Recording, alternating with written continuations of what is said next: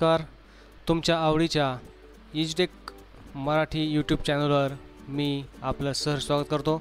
मित्रांनो हा आहे माझ्या यूट्यूब चॅनलचा डॅशबोर्ड या डॅशबोर्डवर आपण माझे सर्व व्हिडिओ की जे एक्सेलच्या संदर्भात आहे ते पाहू शकता.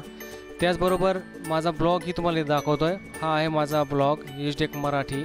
म्हणून इथंही वारंवार भेटतील. चला एजटेक मराठी या ब्लॉगवर विविध असे व्हिडिओसुद्धा मी अपलोड केलेले आहेत. त्याचबरोबर खूप महत्त्वाची माहिती पण इथं मी अपलोड करत असतो.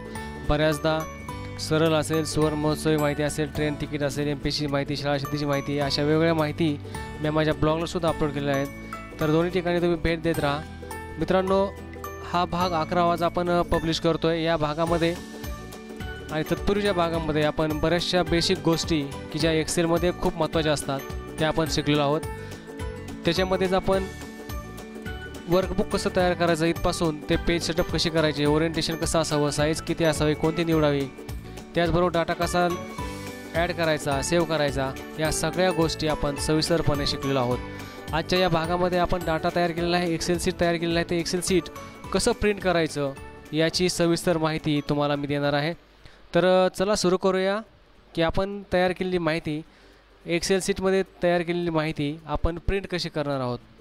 तर प्रिंट करण्यापूर्वी काही गोष्टी तुम्ही चेक करून घ्यायच्या आहेत. मुद्दा क्रमांक एक तुमच्या कॉम्प्युटर किंवा लॅपटॉपमध्ये प्रिंटरचं सॉफ्टवेअर इन्स्टॉल असावं. नंबर दोन प्रिंटर आणि कॉम्प्युटर डाटा केबल अटॅच असावा प्रिंटरला कनेक्शन दिलेलं असावं.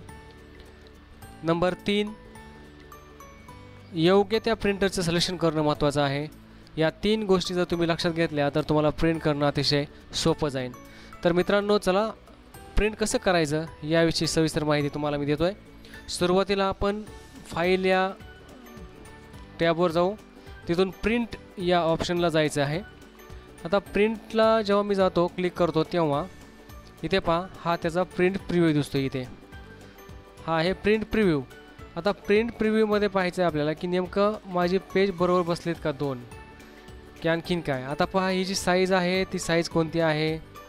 त्याचबरोबर कोणता प्रिंटर ॲक्टिव्ह आहे? आता ही प्रिंट प्रिव्ह्यू झालं. इथे खाली बघा प्रिंटर तुमच्या लॅपटॉपमध्ये कॉम्प्युटरमध्ये कोणत्या कंपनीचा प्रिंटर तुम्ही वापरता? त्याचं सॉफ्टवेअर दिसतं आहे का? आता माझं सॉफ्टवेअर माझा जो प्रिंटर आहे तो क्युशर इकोसिस्टम वापरतो मी. तर इथं माझं त्याचं नाव दिसतं आहे नसेल तुमचा प्रिंटर दिसत तर तुम्हाला इथून या ड्रॉपडाऊन ॲरोवर क्लिक करून तुमचं जे प्रिंटर असेल ते तुम्हाला निवडावं लागेल जेणेकरून तुम्ही प्रिंट काढू शकता. पुढचा मुद्दा आता इथं सेटिंग काय काय करायची आहे प्रिंट करताना? सेटिंगमध्ये चेक करा प्रिंट ॲक्टिव्ह सीट्स म्हणजेच काय? हे जे ॲक्टिव्ह सीट आहे जे सध्याचं सीट आहे ॲक्टिव्ह म्हणजे काय? जी सध्या समोर आहे डाटा समोर आहे ते सीट म्हणजे active sheet only print the active sheet आता ह्याच्यावर मी त्या प्रिंट ॲक्टिव्ह सीट्स इथं एक ड्रॉपडाऊन ॲरो दिसतो आहे ते ॲरोवर क्लिक करू. आता बघा. इथं प्रिंट ॲक्टिव्ह सीट म्हणजे काय? जिथं सीट आहे जे सीट मी निवडलं आहे तेच सीट इथं प्रिंटला येणार.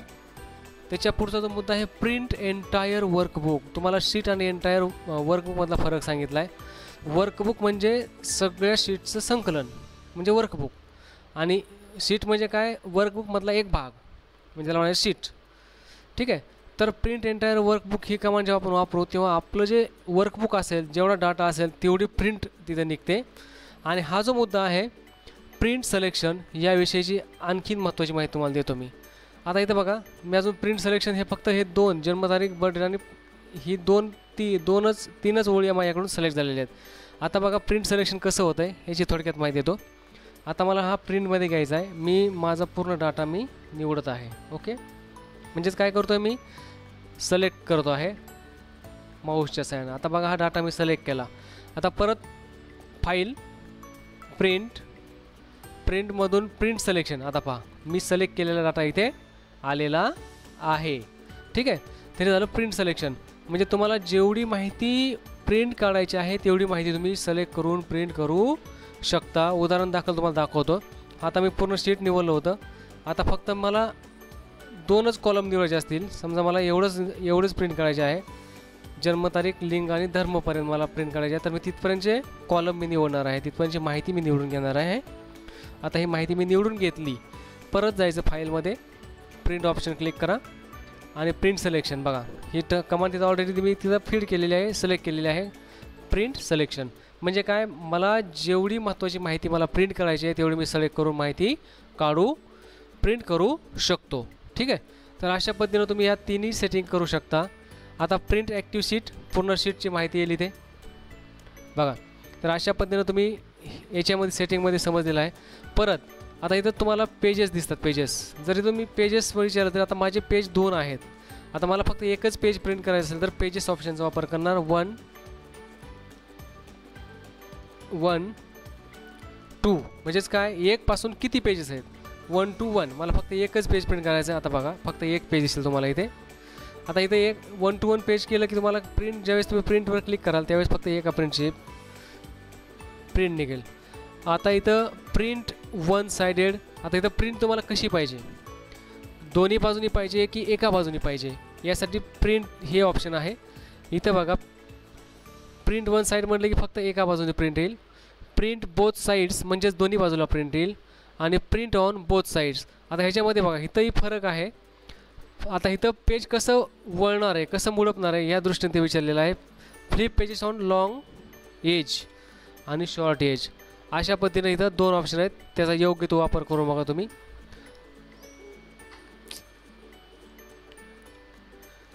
त्यानंतर कोलॅटेड आणि इथं जे आहे ते तुम्हाला एका पेजच्या पेज नंबर फर्स्ट या पेजच्या कशा प्रती पाहिजेत? म्हणजे तुमची ऑर्डर कशा आहे? आता समजा तुम्हाला इथं आपल्या इथं मी दोन पेज सिलेक्ट केले तर कोलॅटेड याचा अर्थ काय? की सिरियलनी येणार. One two three one two three one two three one two three one two three one two three म्हणजेच काय? सिरियल नंबरनी प्रिंट होत राहणार. आणि तुम्ही चेंज केलं इथं ड्रॉपडाऊन एरोमध्ये चेक करा. अशा पद्धतीनं अनकोलॅटेड म्हणजेच काय? काय होते बघा? One one one two two two three three three असं का आलं असेल?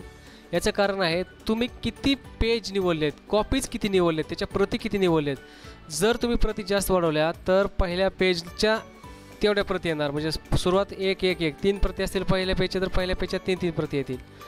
जर तुमच्या हे अशा पद्धतीने अनकोलेटेड आणि कोलेटेड म्हटलं की सिक्वेन्समध्ये येतात सिरियली ठीक आहे? तर हे लक्षात घ्या. पुढे आहे लँडस्केप पुढे आहे ओरिएंटेशन आता ओरिएंटेशन म्हणजे काय? तुम्हाला मी मागच्या व्हिडिओमध्ये डिटेलमध्ये सांगितलेलं आहे. ओरिएंटेशन म्हणजे आडवी माहिती पाहिजे की उभी माहिती पाहिजे. तर तुम्ही चेक करू शकता उभं आणि आडवा. हे पहा. आता पेज तुम्हाला उभं दिसेल याच्यामध्ये या प्रिव्ह्यूमध्ये दि ओके हे समजलं असेल तुम्हाला. ओरिएंटेशन पोर्ट्रेट म्हटलं की पेज पान उभं होतं. आणि लँडस्केप म्हटलं की आडवं होतं. इथे पहा. हे अशा पद्धतीनं. तर मला माहिती आहे आडव्या पेजवर घ्यायची आहे. मी साईज लिगल निवडली माझा डाटा पूर्ण बसावा म्हणून लिगल निवडलेला आहे. पुढे लास्ट आता इथं जे कस्टम मार्जिन सेटिंग आपण इथं मार्जिन करून ठेवलेले आहे आणि इथून पुढे याच्यामध्ये या कस्टम स्केलिंगमध्ये काय आहे बघ दाखवतो मला याचा काय फायदा आहे. कस्टम स्केलिंग ऑप्शनमध्ये जायचं आहे. याच्यामध्ये काय फायदा होतो बघा आता कधी कधी काय होते की माझा डाटा कधी कधी पेजच्या बाहेर जातो. एक कॉलम बाहेर जातो दोन कॉलम बाहेर जातो अशा वेळेस याचा वापर करायचा आहे स्केलिंगचा आता स्केलिंगचा ॲडजस्टिव्ह करायचा आहे या ड्रॉपडाऊन ॲरोच्या सहाय्यानं. आपली जी नॉर्मल साईज असते शंभर टक्के असते. शंभर टक्केचं कमी करत करत जोपर्यंत डाटा आपला बसत नाही तोपर्यंत कमी करायचं. आणि जेव्हा डाटा आपला पूर्ण सीटवर दिसेल आपल्या पेजवर दिसेल तेव्हा तिथे थांबायचं. तर अशा प्रकारे तुम्हाला ही पेज निवडता येतील.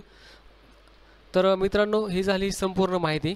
हे सगळं झाल्यानंतर तुम्हाला शेवटी प्रिंट या बटनाला क्लिक करायचं आहे.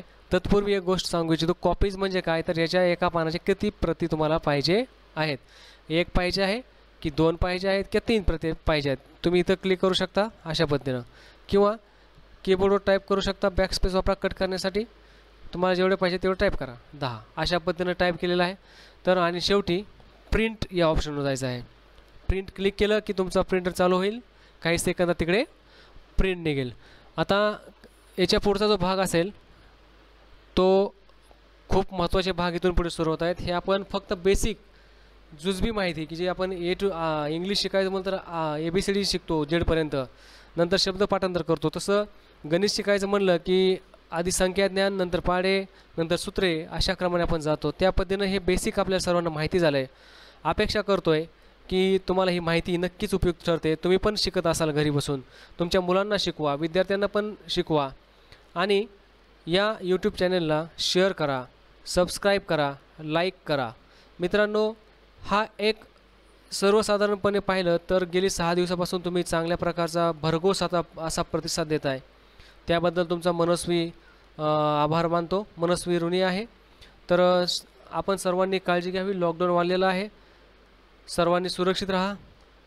सर्वांनी आरोग्यदायी राहा. या सदिच्छेसह मी आता थांबतो आहे भेटूया पुढच्या भागामध्ये. धन्यवाद.